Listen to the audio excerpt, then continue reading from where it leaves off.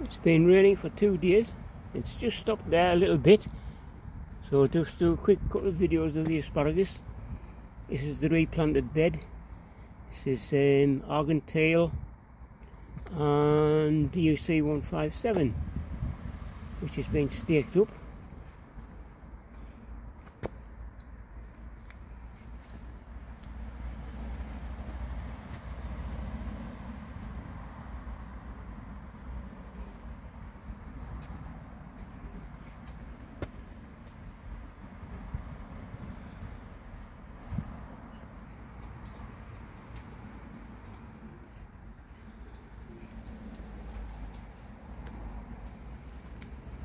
Everything else is growing well.